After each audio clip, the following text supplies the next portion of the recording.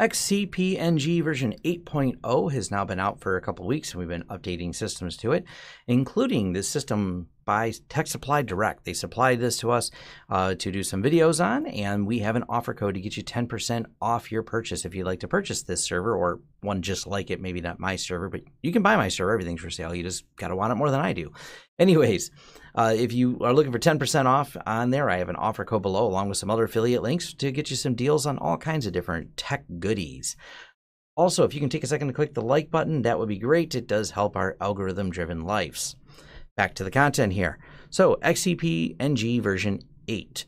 So, unlike the 7 series of XCP-ng, and if you didn't know, this is what the console looks like. I've launched it through the iDRAC system so you can see directly what it uh, looks like they changed from the blue theme to the red theme. Of course, that's the probably the most minor piece of errata in terms of updates, but I still think it's really cool. I do like the new look. I'm a big fan of the color red. Anyways, so this is running on that Dell PowerEdge R720XD. I'll leave a link to that server, like I did a review and overview of the server. It'll be the one I'm doing a lot of future videos on for XCP-ng, including some pass-through stuff. But let's talk a little bit about this release. So the official release date was July 25th, and they have a lot of details on all the fun things. But the one thing I want to talk about right away the new kernel installer runs the same kernel as XCP-ng 8.0, so booting the installer ISO is a good way to make sure your hardware is still recognized by the new kernel. Secondly, the Yum style upgrade does not offer backamp your system, so at this stage it's far too risky for a major upgrade. And I bring that up. They have detailed upgrade steps on their wiki, but in short, you're going to have to download the ISO to a thumb drive or whichever your choice is if you still have a CD or however you're installing it. And you'll have to do that in order to upgrade over the top of 7.6. Now, the good news is, like they said, the ISO you download uh, when you put to a thumb drive is going to run the same kernel. So if you have a problem with your hardware, you will no, because it won't boot. Uh, if it all boots up fine, great. Go ahead and run the installer, and it will install over the top of the 7 series, and then you'll be on the 8 series, and it'll preserve all your VMs and everything else. But please back up everything beforehand because, well, you're still going from a major version upgrade. So, major changes since the release candidate is pretty simple. Uh, the alternative kernel option was added. They have all the MDS security problems with the, you know, uh, branch prediction and everything else that people, some security researchers did a video on this. I had found some problems with some of the Intel processors. And if you didn't watch or didn't read through the release candidate one, we'll talk about some of the other things that are really important in there. Is one, they added a lot of utilities, which is pretty awesome. They updated the EMU manager and a whole lot of much better design around ZFS. So ZFS pool detection, they've made this really easy to do. Uh, so when you create a ZFS pool, I'm to log in over here. Uh, I did Z pool status. I, you still have to create it all from the command line as far as you create, do like the Z pool create command. You still run through that to create it. But once you create it, you just go over to Xen Orchestra which I have pulled up here, and it will detect and add the storage repositories really easily because it can say, hey, look, I see a ZFS pool. So when you select the storage type as ZFS, it can see the pools you created. So it's actually become a lot easier to do. You don't have to remember exactly like where, where the root of the pool is and try to mount it it'll do it right through the Xen Orchestra once you create the pool. So first you create the pool with the disk, then from there, Xen Orchestra can recognize the pools you created. Now, all the pool management for ZFS is still going to be managed from the command line. So uh, if you ever have a drive go bad or you need to swap something out or make changes to the ZFS pool, that's all still going to be run uh, from the command line. But as far as using it as a storage pool, easy enough. You can go right here, create new storage repository, and we'll go over here to storages. And here's the ZFS RAID Z pool with some disks set up on there. And it's actually transferring another run over to it right now. So if you look at the tasks, it's copying over from the other servers. I'm moving more things over to our lab server to get ready for some more videos. But so far, we haven't had any problems with version 8. Uh, works really well. And the other cool thing that is in here, in uh, let's it's on the final list here, is all these tools that they've added too.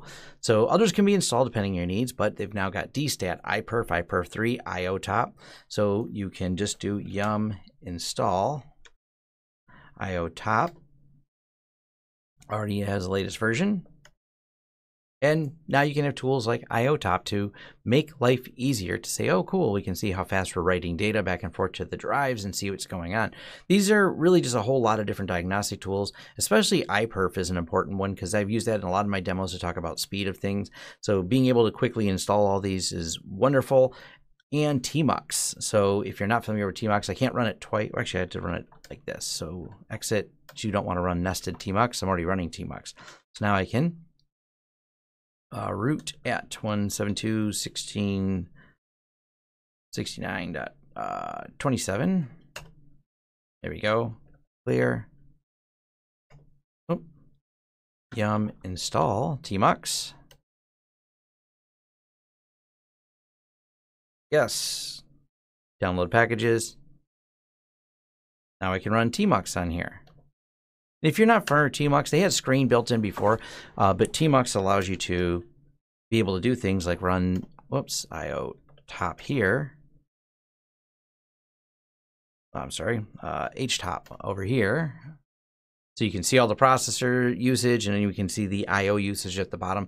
This is really handy having Tmux in there to quickly split the screens. I'm glad they added this uh, right in natively. That is huge because if you're ever doing any diagnostics or when I'm doing some of this testing for the demo videos I have coming up, you want to be able to uh, try to troubleshoot or look at things that are going on when you're putting different workloads on there. And well, Tmux just is a big time saver. I probably should do a whole video just on Tmux, uh, but in the short term, I actually learned Tmux from my friend Jay over on Learn Linux TV. So if you type in Learn Linux TV Tmux, or I can leave a link below, uh, he's got some great tutorials on Tmux. Now, the other thing you may have noticed is they did update the command line, uh, so it doesn't have the kind of boring look. They made the shell look a little bit nicer, so that's definitely a nice feature as well. And the other things that are added in here is the XO SDN controller. Now, I have not dived real deep into this, but this is pretty exciting. Uh, what it allows you to do, and it's easy to do on a single server, uh, which is create a private network. So you can actually create all kinds of virtualized private networks. Wonderful for lab testing. So you can create virtual machines that can only talk to each other that on a network that does not you know physically exist in the real world it is only virtual it's also a way to keep things contained if you're doing any type of virus research or anything like that but let's go a step further. They're integrating a full SDN controller to pass this between GRE tunnels between different servers. So it's going to have support for both uh, GRE and I believe uh, XVLAN. And it's essentially how Open vSwitch work, but it's going to be natively integrated right into the whole Xen Orchestra part. So it's a Xen Orchestra working in combination with XCP-ng to create an entire SDN, so software-defined networking controller that will be uh, integrated so you can have two physical servers or more, two or more servers that have private networking encapsulation between them. This is a, just like I said, really neat feature, especially when I'm going to be in my lab videos. Uh, I'm hoping to do some testing with this later. It's going to be a pretty advanced video to set this up because there's some trickery uh, that I have not just take the time to read yet about how to set up GRE tunnels and how that works, like how they're implementing it with. Uh, what about the future? Because this is a question people had. The private networks created by the SDN controller are isolated, but the network could also be ciphered with IPsec. Because by default, GRE is an encapsulation, but not an encryption.